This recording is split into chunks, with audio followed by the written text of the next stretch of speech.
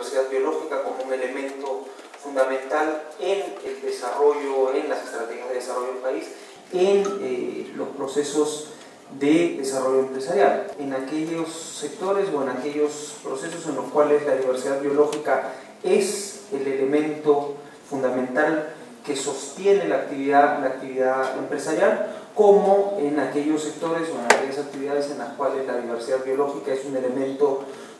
no es el producto, pero sí es un elemento que se ve afectado o que puede tener o puede generar ventajas eh, competitivas. Y eso es algo que, que como país megadiverso, la diversidad biológica finalmente es el activo principal para el desarrollo en un país de las características que tiene el Perú, en el aprovechamiento de, recursos naturales, en el aprovechamiento de algunos de los aspectos de la diversidad biológica,